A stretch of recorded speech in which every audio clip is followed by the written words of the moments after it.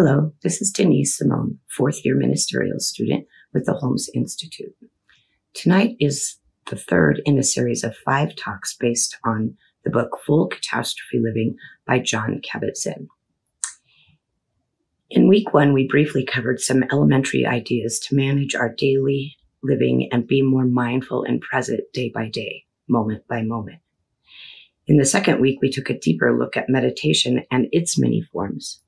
Tonight, what I would like to discuss isn't talked about in the book, Full Catastrophe Living, and it's also not talked about or specifically supported by Ernest Holmes, the Science Mind textbook, or religious science in general. However, I have attended workshops on some of these health modalities at my home church, Mile High, and I have taken a few courses through the Holmes Institute that discuss and teach most of these modalities. In the description of the session, I stated that we would cover a look at some alternative practices to add to our basic spiritual physical toolbox. This week, we will look at energy work, chakra balancing, and Reiki from the perspective of integration. So, what are these modalities? Do they work? Should we turn our backs on Western medicine and pursue them? Why aren't they commonly known and available?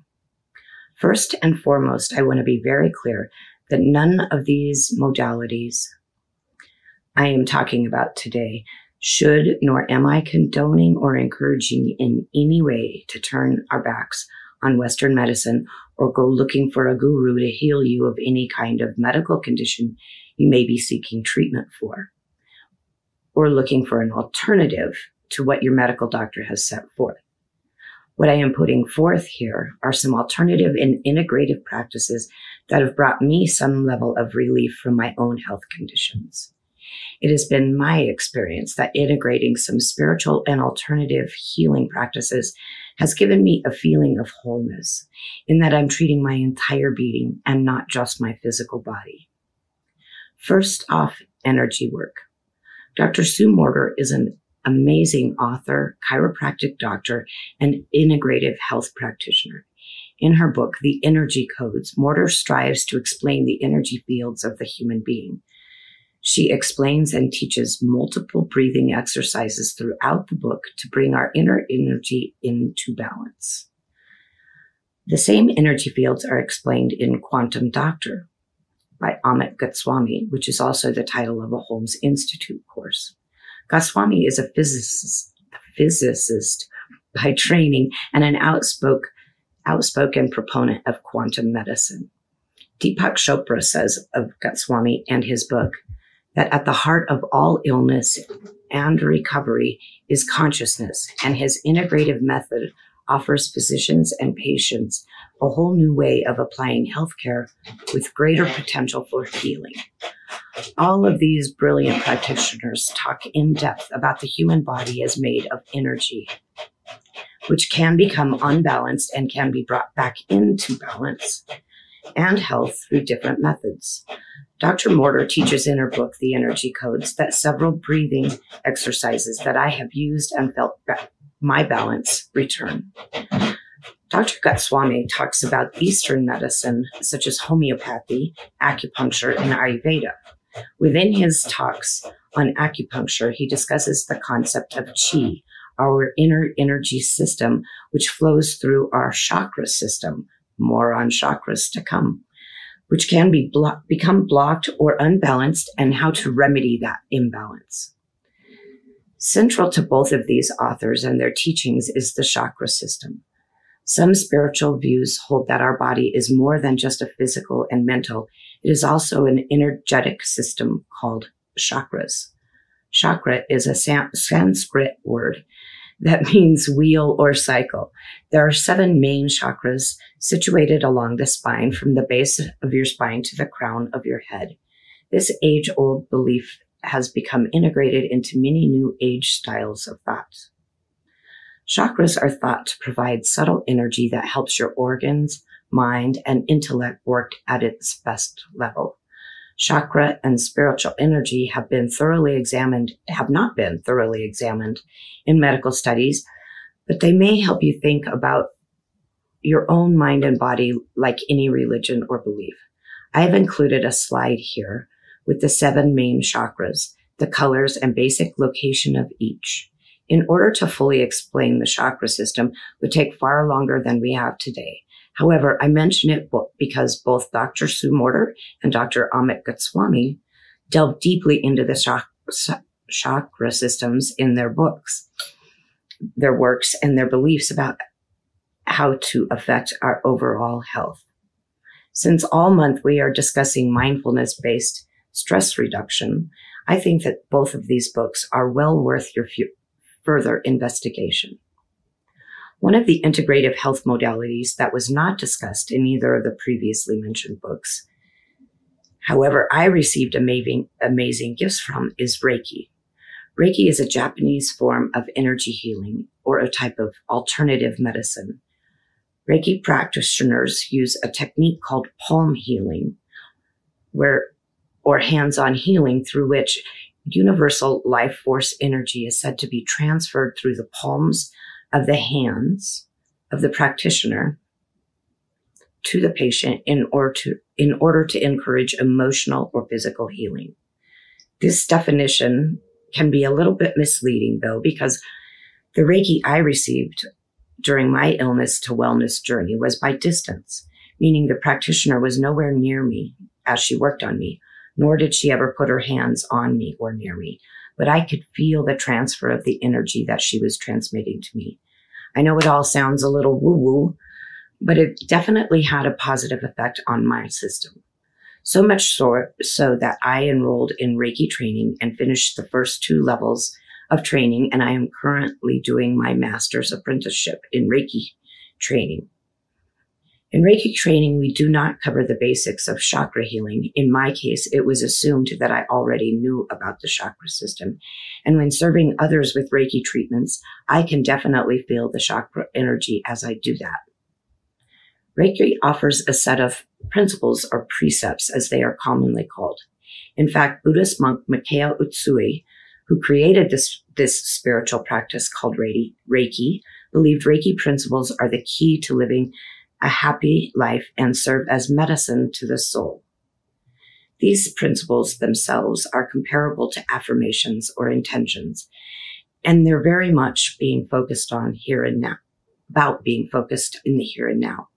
They're there to encourage us to embody the Reiki energy throughout the day, every day, these principles are interesting and let's talk about them a bit. Number one, just for today, do not worry. If you're a warrior with a with a capital W, this Reiki principle will help you ground when you're starting to consider the future. Our egos get overwhelmed with making up imagery, imaginary futures, and then living in the present as though the imaginary future we made up in our mind is real. This principle shows us to slow, slows us down to this present moment, to just now, just this, just today. This practice of tapping into faith and breathing into the present moment can create significant shifts in our individual and collective consciousness. Principle number two, just for today, do not anger.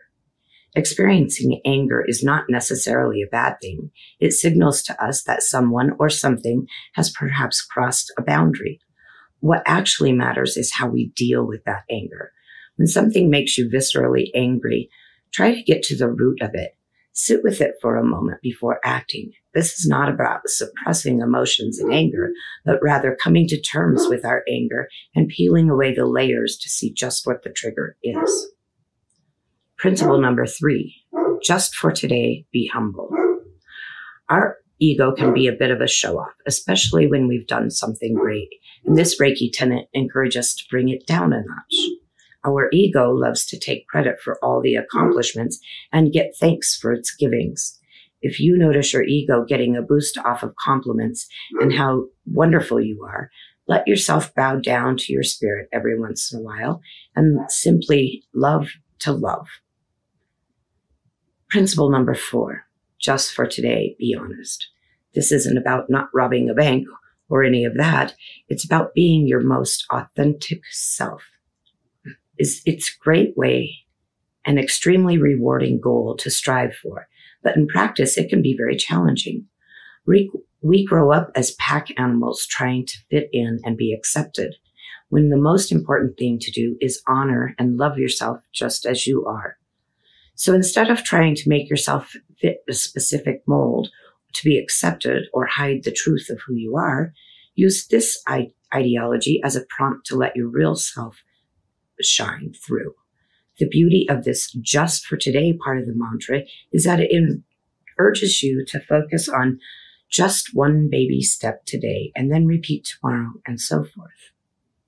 Number five, just for today, be compassionate towards yourself and others. Compassion is the healing balm to judgment and anger. This Reiki principle is a nudge to cut ourselves and others some slack and to give the benefit of the doubt whenever possible. Practicing compassion, of course, isn't always the easiest thing to do, but it can be the most rewarding. I think you can see clearly that these five Reiki principles are very familiar to the way we were all striving to live, to be, to live as awakened spiritual beings. Just for today, at the beginning of each principle, takes away the talk of forever and brings us back to the today, to the present moment. Any and all of these alternative health and wellness modalities require a bit of open mindedness. If you are completely certain that they will not help you, you are probably correct. But if you approach them with an open mind and an open heart, they will most likely help you immensely, even if the most they do is to calm you and help you cope mentally and spiritually along with your allopathic medicine efforts. It has been my pleasure to share these alternative healing modalities with you. I hope that you will give one or all of them a try. Thank you for being here. Here at Center for Spiritual Living Greater Las Vegas, we are a mission and vision driven community. We offer transformative educational opportunities, deep and meaningful moments of connection, uplifting Wednesday and Sunday services. We greatly appreciate your contributions that support the amazing work we're doing here in Southern Nevada. We have several easy ways you can contribute. We have text to give. Simply text the amount of your donation to our text to give number and you'll be prompted to enter your information. There's a link to our online donation page posted below this video where you can contribute by debit or credit card. And of course, you're always welcome to send a check to our office if that works better for you. All of your contributions go to support the great work that we're doing here in Greater Las Vegas community.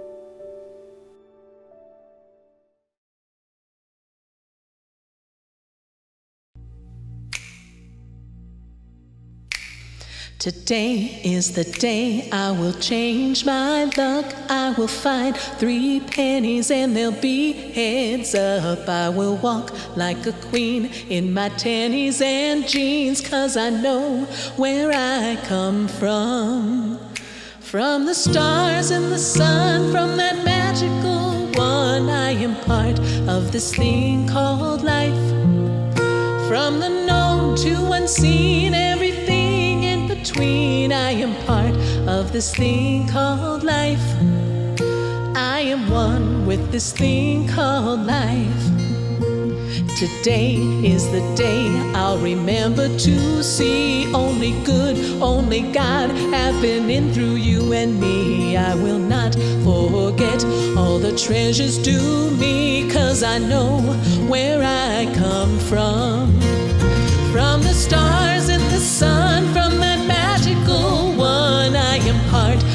this thing called life, yeah. From the known to unseen, everything in between. I am part of this thing called life. I am one with this thing called life. And today is the day I'll be more of myself, love my skin, where I've been, and everyone else. No more push, no more pull, simply go as I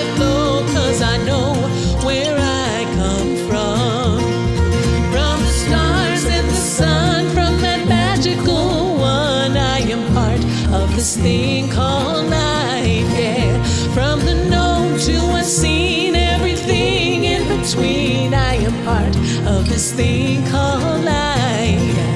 From the stars and the sun, from that magical one, I am part of this thing called life. From the known to unseen, everything in between, I am part of this thing called life this thing called life. I am loved by this thing called life.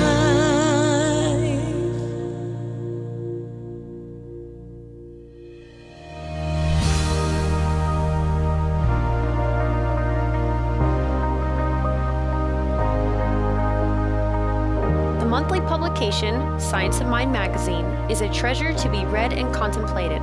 Along with in depth articles, there is a day to day spiritual support to be gleaned from its daily guides.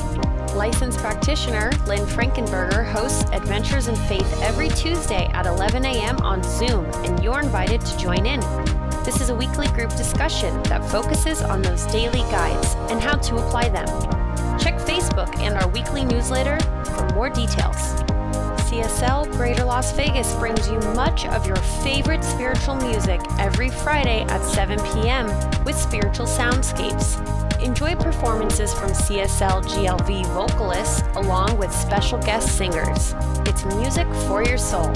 Subscribe to the CSL GLV YouTube channel to get a convenient link sent to you for each musical performance. At CSL Greater Las Vegas, it is our mission to inspire spiritual discovery through community connection, exploration, and celebration. This mission supports the all inclusive vision of Centers for Spiritual Living worldwide, in which we envision a world that works for everyone and all of creation.